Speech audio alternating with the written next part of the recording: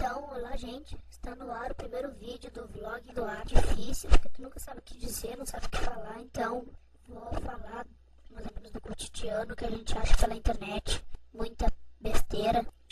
Uh, a última coisa que eu vi na internet foi foto, assombração, os fantasmas, etc. Então, é disso que eu vou falar hoje, assombração.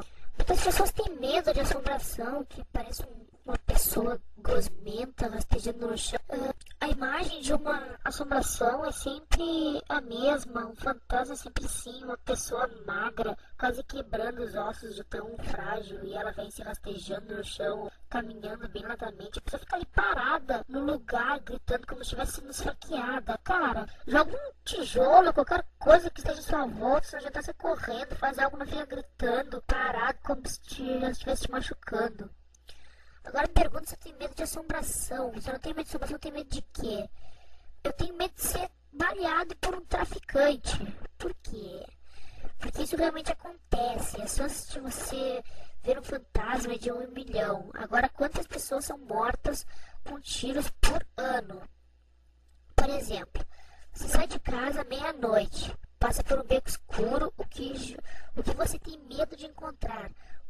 Fantasma de um velho de no mínimo 60 anos que mal consegue sair do lugar, ou um bandido com um revólver de longo alcance, que pode facilmente acabar com sua vida em um tiro.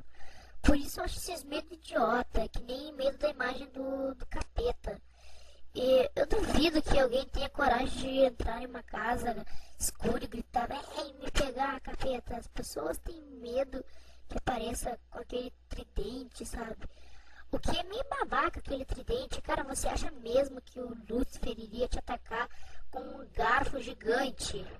Se é isso, eu não queria ele do meu lado em uma guerra, porque teria que chegar no mínimo a um metro e meio do inimigo enquanto nos arremessam granadas, bombas, mísseis, cachorros raivosos e comida gordurosa do McDonald's.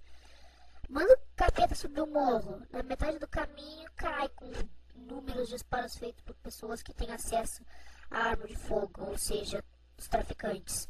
Eu tenho esse medo de traficantes porque me parece os piores tipos de bandidos, tipo, fora da lei, vendendo drogas ilegais com acesso a armas.